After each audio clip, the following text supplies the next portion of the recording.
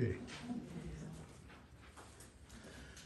Good morning, it's December 31st, the last day of 2023 here at West Valley Grace Fellowship. Pastor David Havard. Today be speaking on spiritual investments. Let's open with prayer. Father, we thank you that your sovereign hand guides everything that happens, even though it doesn't feel like it, doesn't seem like it. Lord, help us not to lean unto our own understanding, but unto you for all of our needs and hopes. In your name we pray. Amen. Okay, now you're gonna have we're gonna start with a little audience participation. 2023 has been a heck of a year, right? So let's just all breathe in real deep. Okay. No better now.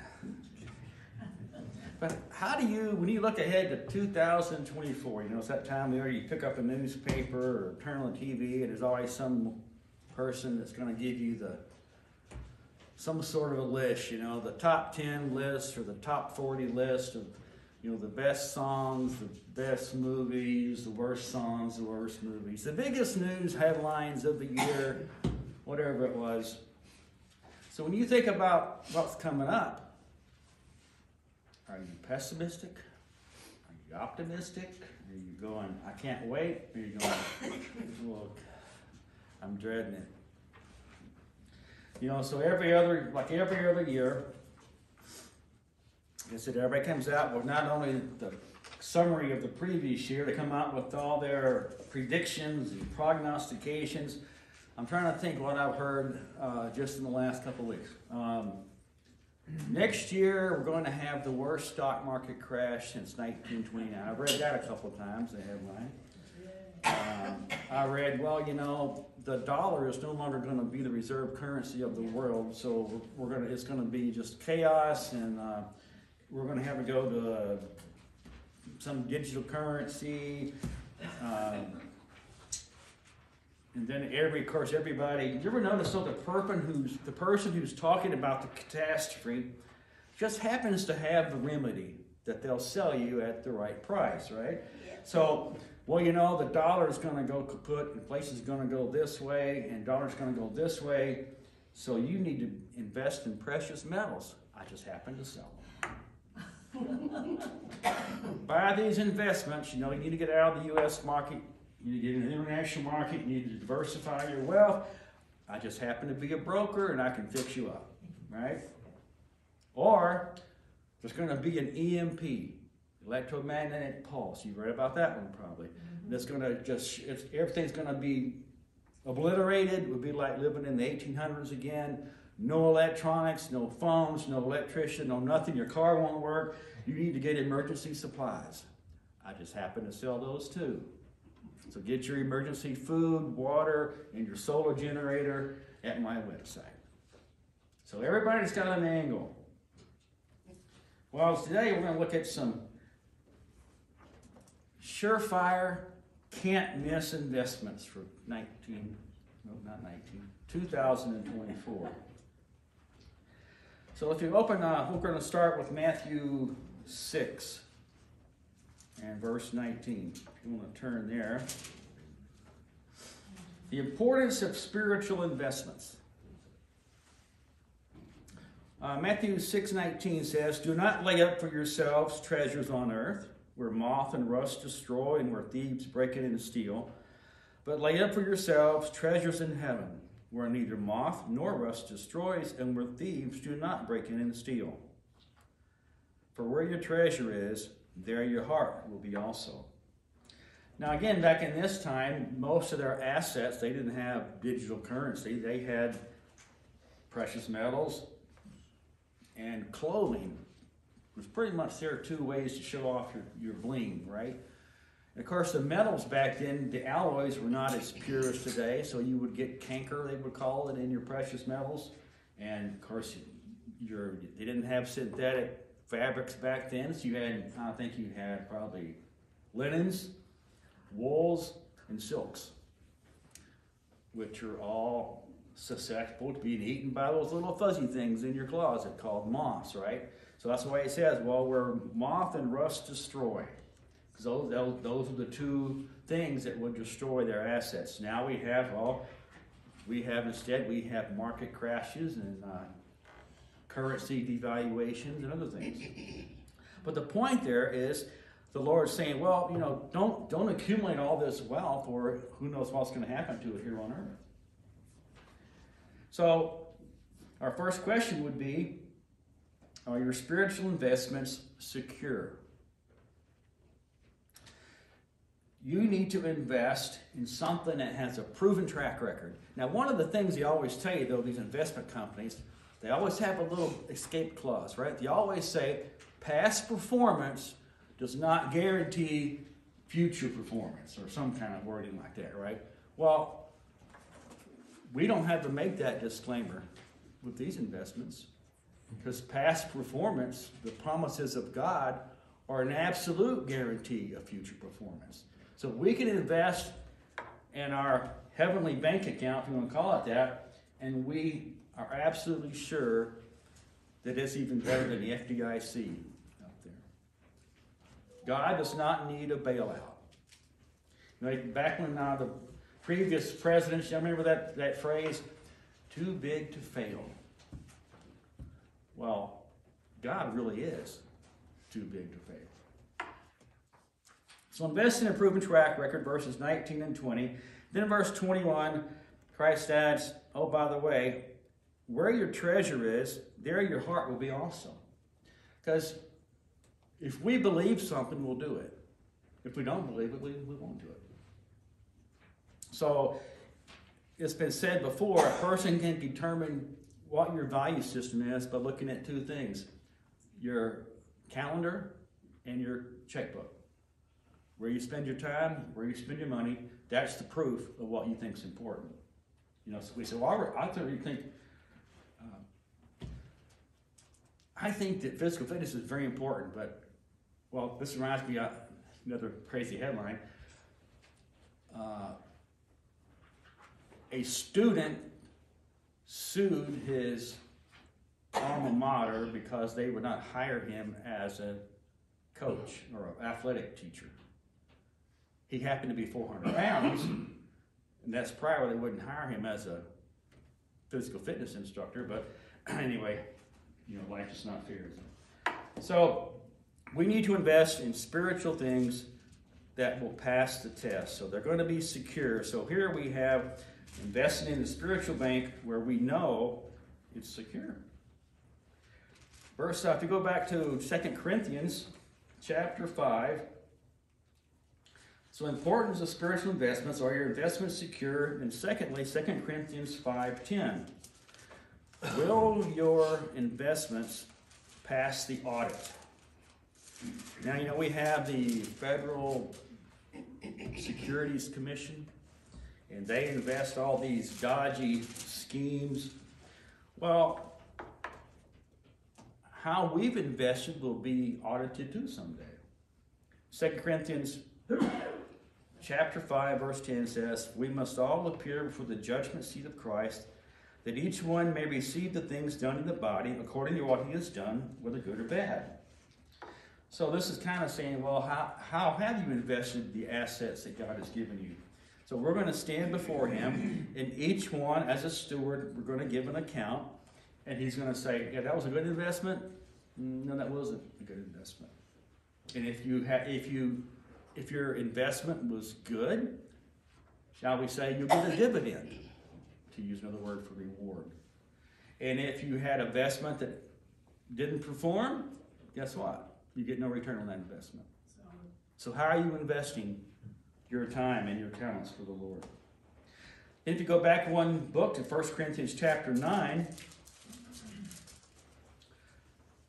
are you taking your investing seriously? Now, again, the, the proof of this is in, your, in our actions, right? We can say, oh yeah, I, am really, I'm really concerned about uh, doing that, but if we take no action, kind of like it says in the book of James, you know, well, faith without works is useless, it's dead. 1 Corinthians chapter 9, verse 24, Paul says, Do you not know? Again, it's kind of a Hello? Don't you know that those who run in a race all run? He's probably you're thinking of like the uh, you know, Olympic Games, something like that. So everybody's running, but one receives a prize. Everybody runs a race, but there's only one winner.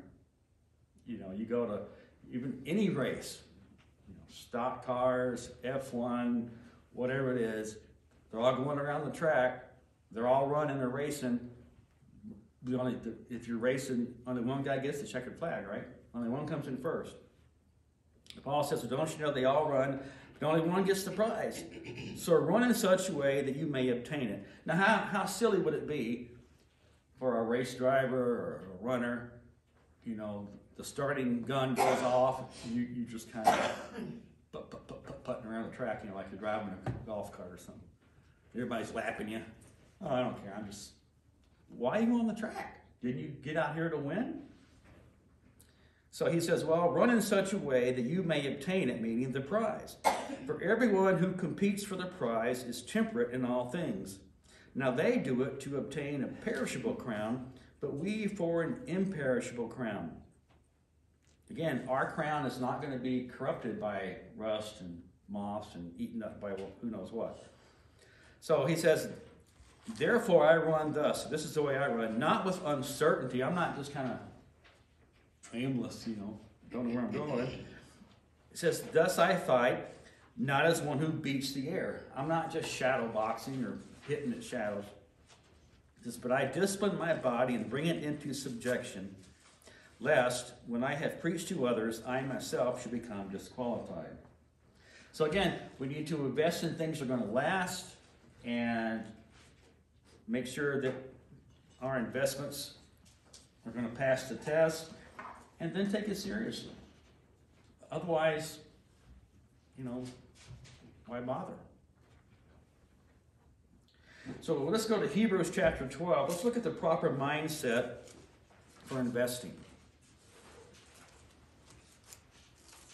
Hebrews chapter 12, first couple verses.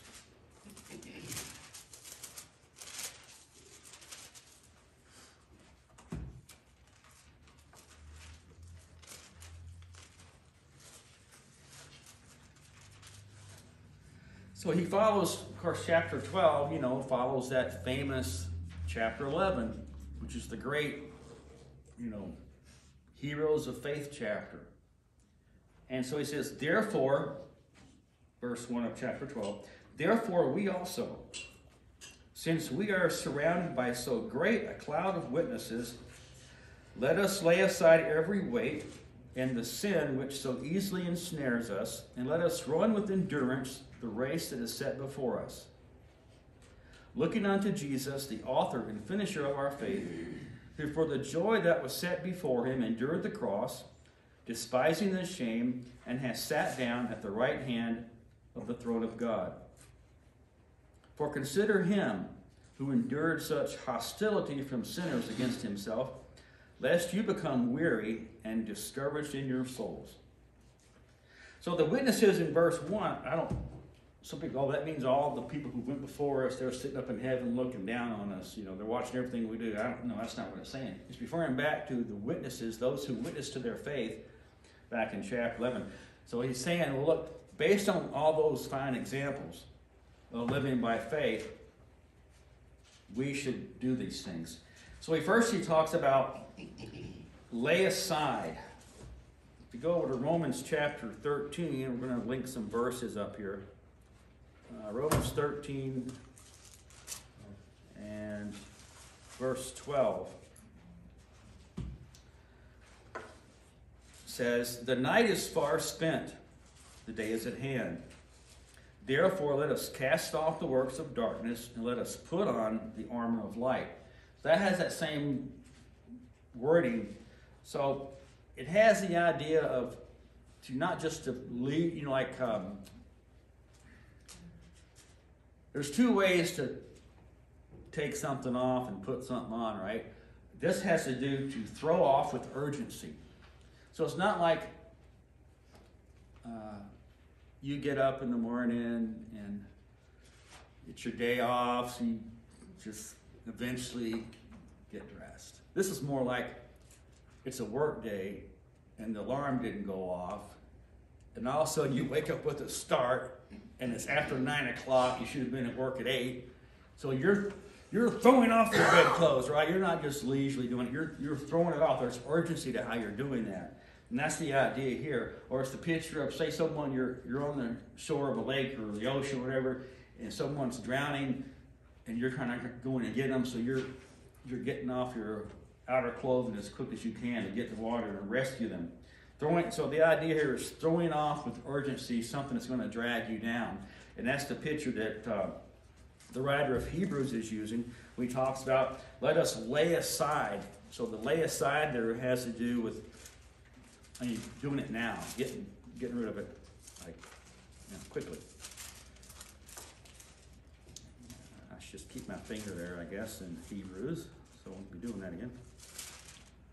So then he says, well, lay aside quickly any weight. Now, weight, uh, what do we throw off? Is any hindrance, distraction, anxiety? And then the original has the idea of, like when one guy translated it, uh, it has to do with bulk. One guy translated a swelling of superfluous flesh. okay. Um, so we're in kind of the idea is we're in training and we need to lose weight you know, to get you to get your fighting weight if you're a boxer or something like that. Uh, we need to take off any trailing garment that's going to trip you up. Reduce the drag. Were like those competitive swimmers, and I can't remember when it was when the guys finally started actually doing the whole body shaving to reduce drag. I'm like, okay, that's TMI. I don't, you know, that's you're really going to save that much time off your swim by anyway. So we need to reduce our drag and so we could run quickly. And if you keep your finger in Hebrews, go back to 1 Corinthians chapter 6. And verse 12, Paul says, now remember, and Paul often dealt with this, right? People would ask Paul, I'll try, I'm going to reword it, but basically they're asking Paul, how much can I get away with before it becomes sin? That was kind of what their attitude was, right? Especially in Corinth. Well, you know, how, you know, like you tell your kid, don't don't go. How close can I put my toe without actually crossing the line? How, how, like when you watch football, you know, they do the replay. Well, was he inbounds or out of bounds when he caught the ball? So we're going to do a slow motion replay. Okay, he was he was right up to the edge of that little painted white line, but he didn't cross it, so he's all right. Or they review it. Well, yeah, he, he was out of bounds. The play's no good. Bring it back. So here Paul says, Well, all things are lawful for me, but all things are not helpful. Yeah. All things are lawful for me, but I will not be brought under the power of any. Then He talks about food for the stomach. So um, there are certain things we can do. Are they wrong? No, not necessarily. Are they good. They're kind of those neutral things, you know. It's like some things aren't bad in and of themselves, you know, certain hobbies, uh, you know, sports, whatever it is. But when that becomes, I don't know, like Paul says, uh, I will not be brought under the power of any. I will not be addicted to anything. I will not be where that's controlling my life. You know, so if, if we, once you become obsessed with something, use that word, then it's probably not a good thing, right? Whether it's I like to golf or I like to bowl or I like to do whatever it is. Once you get to the point where you're like the teenager in the bedroom playing the video game for 16 hours a day, it's probably not healthy at that point, right? So it's not good versus evil, but more like neutral versus beneficial. So anything that's going to distract you, or you know, like I could, if you're in training, you know, can you grab that? Name your favorite candy bar at the checkout line. Can you grab that and eat it? Absolutely. Is it probably going to be good for you? Probably not. And this is the bad time of year for that, right? Because most people give you for Christmas. Like at my house, it's like, hey, it's Christmas time. Here's a box of chocolates. Hey, it's Christmas time. Here's a box of treats I baked for you. Hey, it's Christmas time. Which, you know, I had to find another pair of pants to put on tomorrow, this morning because the ones I was going to put on, there was a gap about this far between where the snap and the latch was going, right? So my weight hasn't changed, but apparently it's migrated something, so TMI, I know, but uh, I blame it on the Christmas tree, so it's all my neighbors' faults and all them people, you know. So I, I didn't, I didn't mind my own business here verse 12. Um, well, anyway, we need to lay these things aside, lay aside anyway, and then it says, so weight would be something that's not necessarily sin, but it can be detrimental. But then he goes from what may or may not be bad to what well really is bad. and He says, and lay aside every weight and the sin which so easily ensnares us. So obviously we need to get rid of that. Um, kind of like you know you've seen in the movies where the ship's getting into some rough seas. What do you know? Oh, anything we don't need, throw it overboard, right? And this has the idea of ensnares, it's like a, you know, like a robe around your ankles or, or whatever. Um, 2 Timothy 2.26, where that, word, that verse is, word is used again, 2 Timothy 2.26. says, Paul is here, he's talking about how the teachers of the word need to be gentle. And he says, and that they mean those who need to be corrected, that they may come to their senses and escape the snare of the devil, having been taken captive by him to do his will. Again, we're not fighting against flesh and blood, right? But against principalities and powers and rulers of darkness, high places. So he says, well, we need to do this so they can escape the snare of the devil. And it reminds me, remember in the, was it, Jason and the Argonauts, right? And they had to tie themselves to the mast of the ship because they're sailing past that island of the sirens. We were going to be calling out to them and they'd crash upon the rocks and trying to get to them or whatever. So we don't want our ship of faith to be shipwrecked upon the reef of sin. So don't uh, don't be ensnared by it. And you know, again, Satan is him his due. As I say, give the devil his due. Um, he's a good he's a good fisherman, right? He he knows what lure each one of us are going to bite at. You know, he knows, well, that, you know, David won't bite at that, he'll bite at this one, but the one I won't bite at might be the one that you'll bite at. He knows. So, back to Hebrews, we need to lay aside every weight and the sin. Again, it so easily ensnares us. Paul talked about that in Romans, right? Romans 7. The things I want to do, I don't, that's what I'm doing. The things that I really want to do, I'm not doing. The sin easily ensnares us. We still have that sin nature. He said, and let us run with endurance the race that is set before us. So endurance, the King James says, run with patience. And they're both kind of the flip sides of the same coin, right? Because here it's, it's talking about both. This word means both passive endurance and active persistence. So it's not, it's, it's, it's kind of both. So again, we're not, the, the Christian life is a, you probably heard it said, it's not a sprint, right? It's a marathon. And a lot of times, you know, we, someone starts a marathon, someone just start off really fast, and they'll say, no, no, you, you really need to pace yourself. It's a long race. It's not just a 100 yard dash. So, if we go back to Romans chapter 8, and verse 24.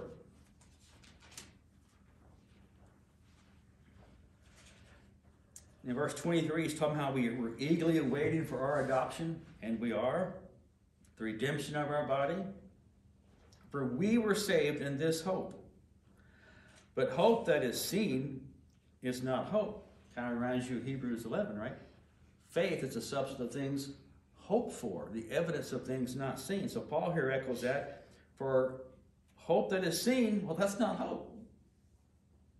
For why does one still hope for what he sees? But if we hope for what we do not see, then we eagerly wait for it with perseverance. So,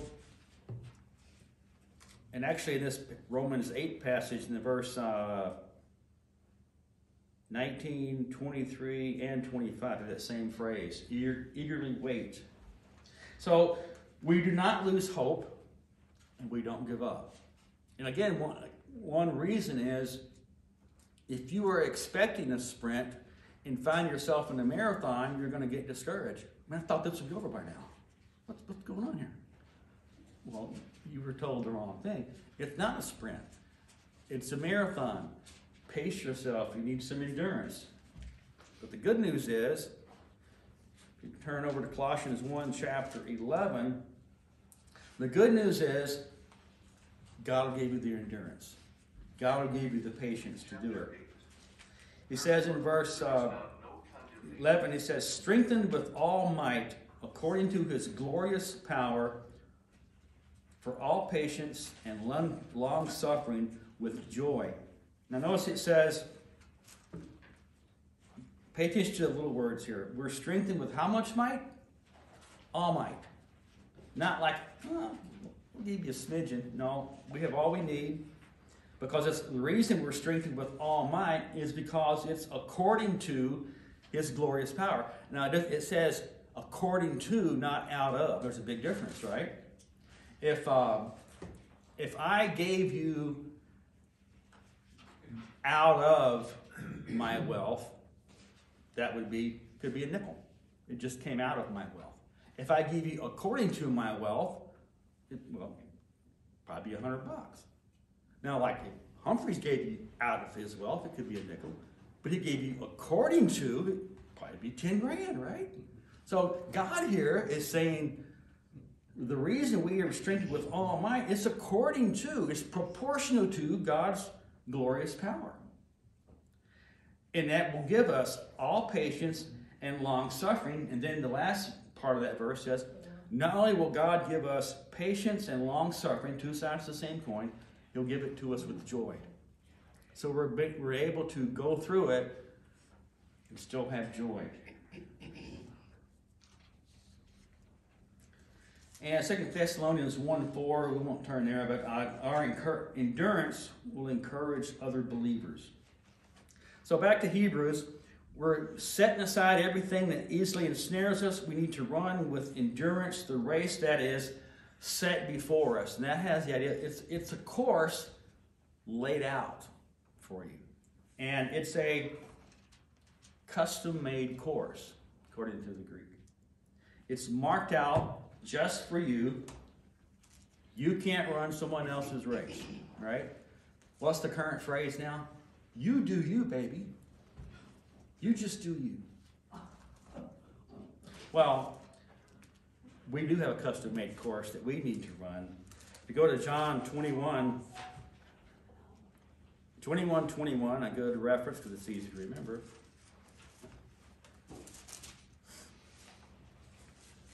Now, Peter exhibits Peter exhibits human nature perfectly, right? We do the same thing.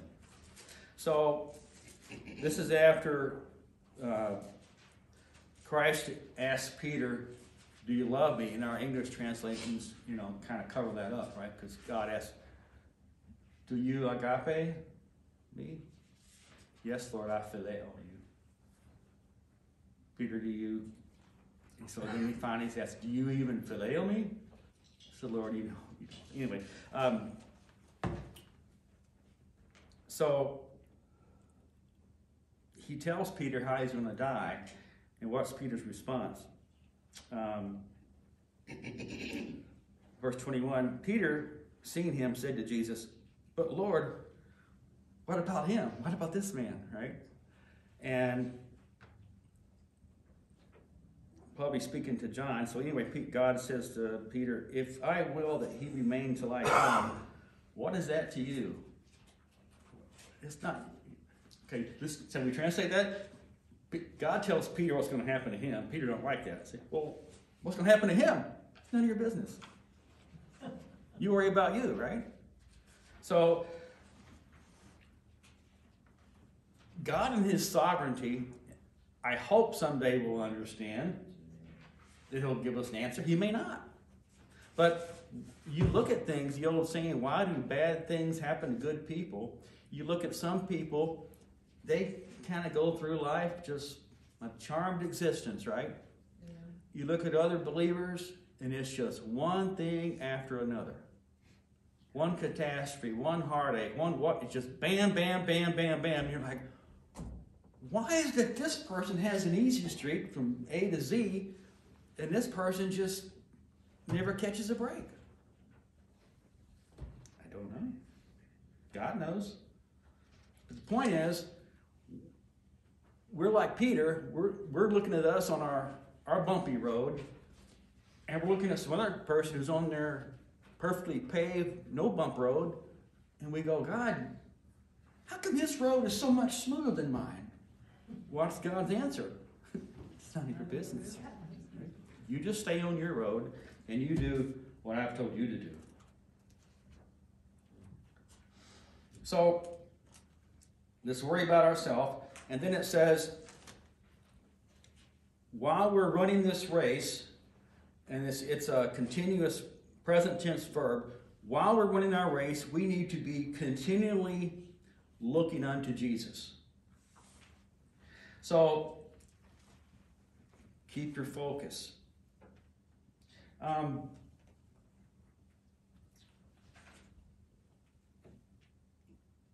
again, using illustration, I went to motor school and police department.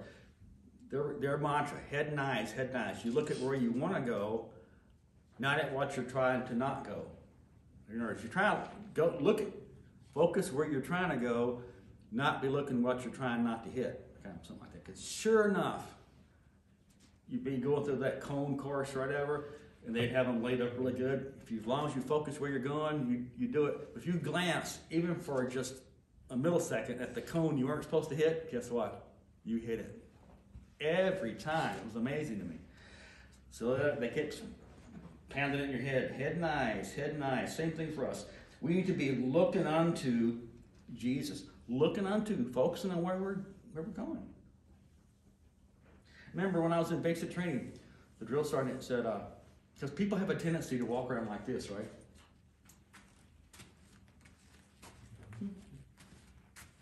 He cussed us out. What the blanky blank looking down for? There's nothing to see down there. Look out. Keep your eyes out. Look where you're walking. Well, there's some truth to that. Kind of like when you're driving, right? Just looking at the front of the front of the hood, you're not really seeing what's coming down the road, right? But you can try this trick when you get home. If you look down the road, your peripheral vision will catch anything. I see this. I'm focused on that back wall, the little picture. I'm shaking here, but I still see this. Your peripheral takes care of that. If I'm just looking here, I don't see what's going on out there. Anyway. So we need to keep our focus on Him. And Romans 8 5 talks about we need, oh, I'll go there. So there's a positive and a negative aspect of this, right? We need to not look at, not focus on the things we don't want, and we need to positively focus on what we do want. So it's a negative and a positive thing. So, you know, negatively, it's like some of you may have grew up on a farm where you had the, the plow horse, you had the blinders on him, right? What was that for? He wasn't supposed to get spooked or distracted by what was going. He, he was just he was supposed to focus on the role in front of him. And sometimes we kind of we kind of need that. And Romans 8 5, Paul kind of sums this up. He says, For those who live according to the flesh, big surprise, they set their minds on the things of the flesh. But those who live according to the Spirit set their mind on the things of the Spirit. So it's all about, again, it's that mindset. What are we setting our mind on? So, another illustration uh, back to the farm. I don't know if you guys had, ever had to run a tractor with a plow or disc on it. And if you weren't looking far out, if you didn't have a set point, once you got to the end and looked back, your roll was looked like a drunk blind man had done it. Right? It was all over the place. You had to pick, you had to pick a focus point and look at that and just keep straight on to it. Same way if you're sailing, you've been sailing, you got to you know tack back and forth or whatever, or you, you can just drive in a boat. You want to pick something across the lake or something that's fixed to be aiming for. If you're just looking at the water, you're, you could be going in a circle for all you know, right? So we don't want to be short sighted. We want to have a focus, a heavenly focus, that will enable us to plow a straight road. So we need to be laying aside all these things, we need to be focusing properly, and then we need to be keeping our focus on Jesus Christ, who happens to be the author and finisher of our faith. I didn't keep my finger in there like I to. So, the word finisher, by the way, if you're a word guy, this is the only place that word's used in the New Testament. Finisher. Teleotes. We heard teleos, finish, end. So, he starts our faith, right? He began it all, and he will bring it to perfect completion. We're not going to do it, but he will, and that's a promise. Colossians 128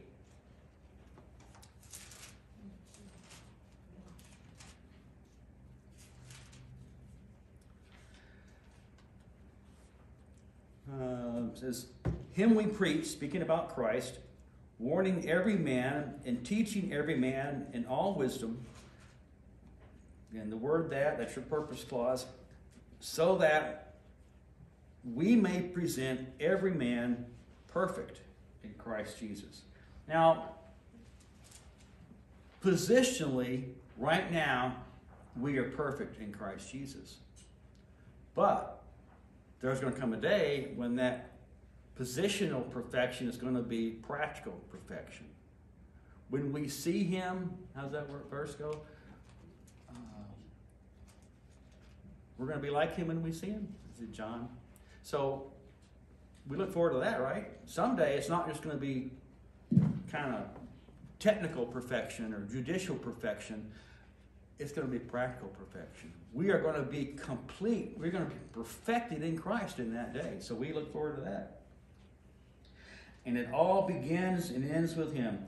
Those verses, Revelation uh, 1 8 and 22 or 13, you, you'll know them. It says, I am the Alpha and the Omega the beginning and the end. So from Genesis 1 1, Revelation 22 21, it's all about God, right?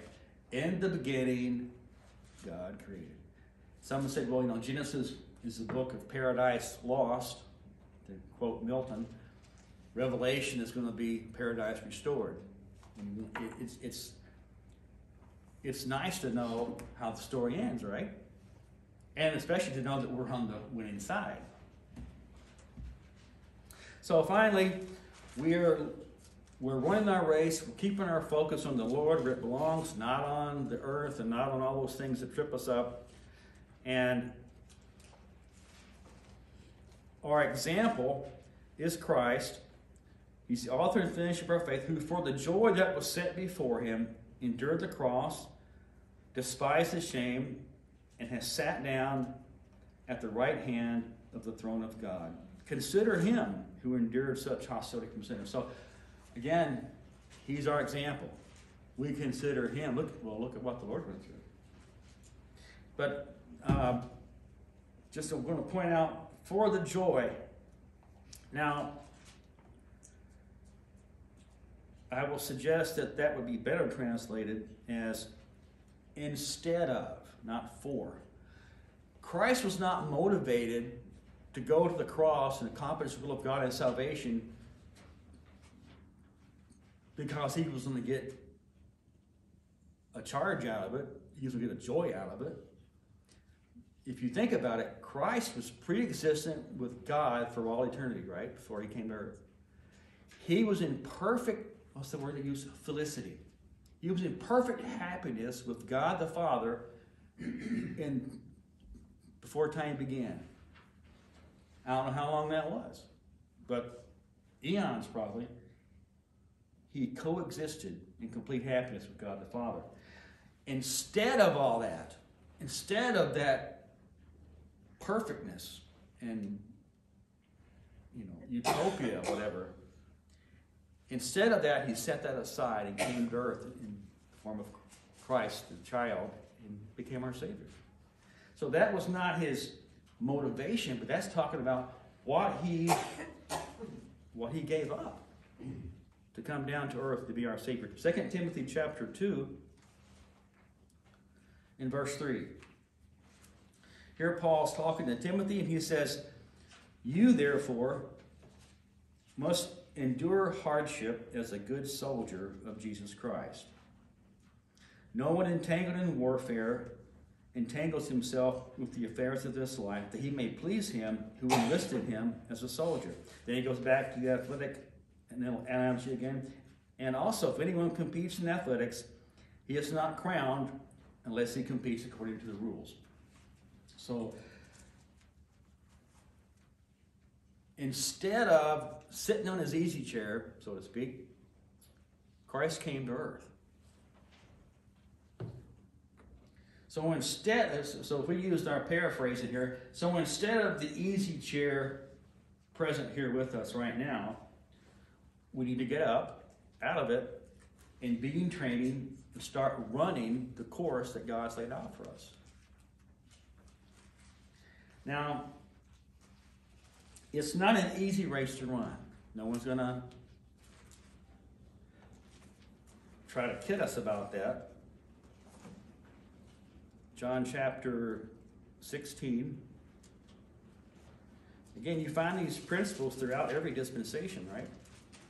God's people have suffered persecution in every dispensation. But God's presence has also been with them in every dispensation. John uh, 16 33. Now, are we going to go through the Great Tribulation? Absolutely not. We're going to be rescued. But can things get pretty bad before we're raptured out of here? Yes. Yeah, just look at 2023. Just look at look look at the downward trend and what's becoming open hostility to Christians and anything that smacks of God or right and wrong. Verse 33 says, These things I have spoken to you, that in me you might have peace. In the world you will have tribulation, but be of good cheer. I have overcome the world. So Christ says, I've spoken these things to you so you can have peace, right? And all of the mayhem that's going on around us, right? We look to God and that gives us peace, or it should. So, now notice he says, you're not going to have peace in the world. Our peace is found in Him, right? And cases in James talks about um, Rejoice when you come into various tribulations, knowing that tribulation works patience. So we're, we're not rejoicing in the tribulation, we're rejoicing in what God is doing through that. Same thing here. In Christ, in God, we have peace. And it's it's a peace that the world can't understand, as it says in Philippians. It's the peace that passes all understanding, right?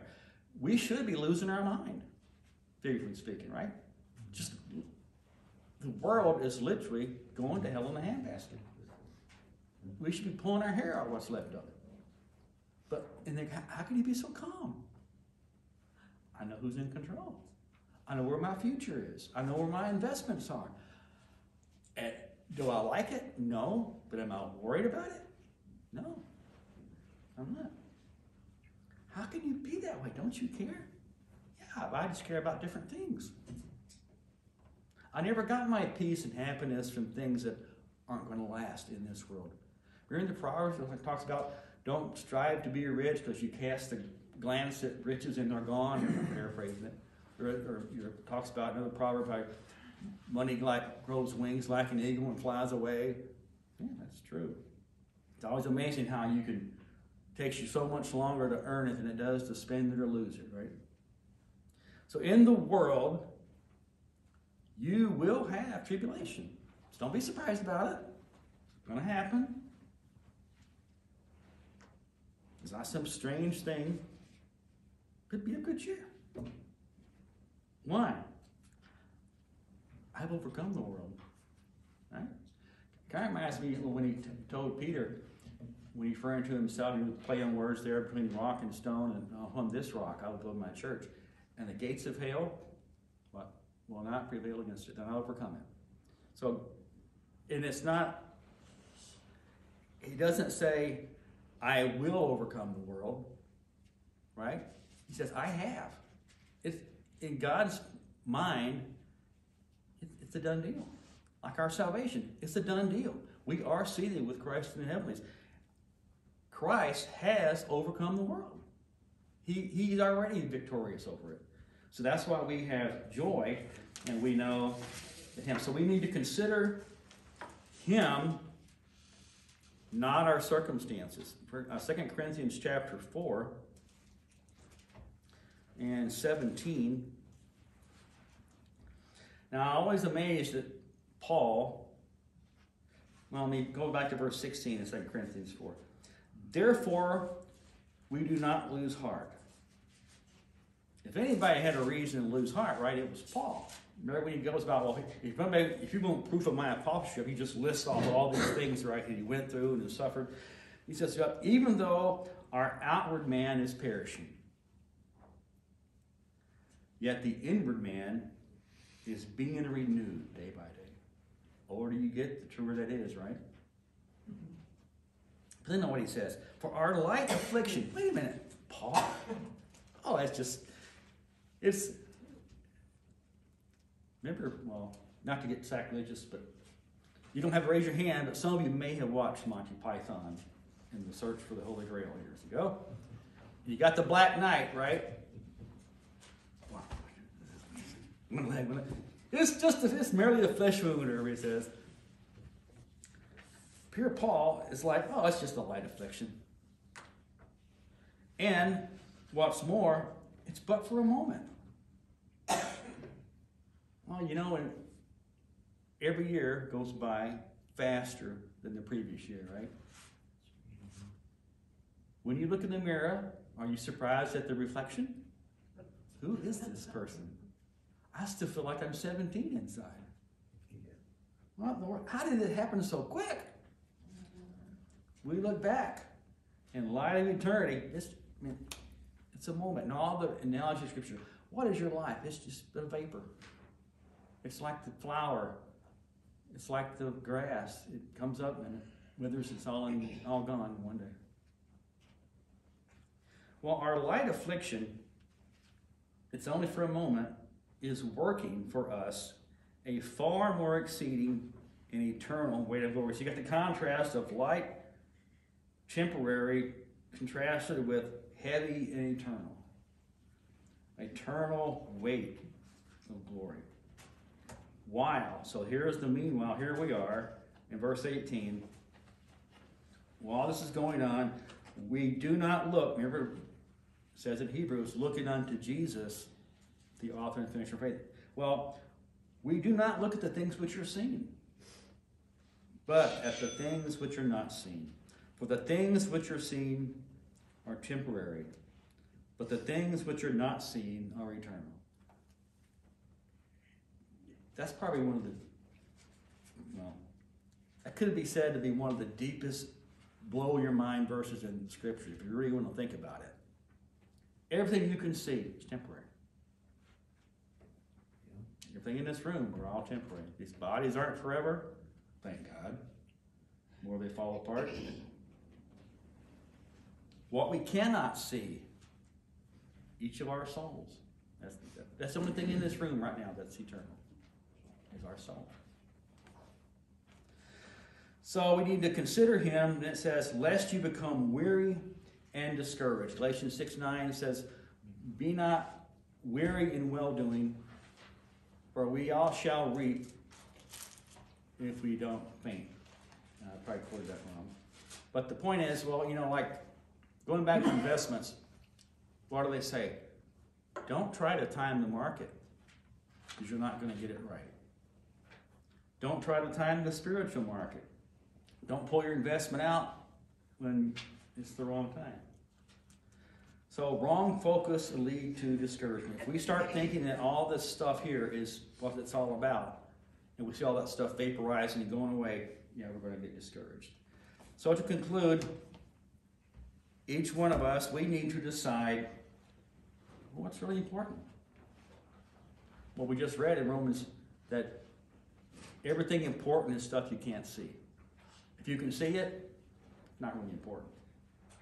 So evaluate what you're doing now. We need to evaluate where where are we investing. And if we go back to Romans, if we're investing in anything that we can see, touch, taste, handle, it's not an eternal investment. So then we need to make needed course corrections. Just like if you're out in a sailboat and you're tacking around or whatever, and you're like, oh, I'm starting to drift. Nudge that rudder, get back on the tack you're supposed to be. Let's close in prayer. God, I thank you for your word, and I thank you for the encouragement that it gives us in these unstable times. I thank you that we can trust and we can rest and we can have peace in knowing that we have a secure future in you because of all you've done for us. And despite all the craziness of this world, we can have peace in our heart with patience as we give glory to you. In your name we pray.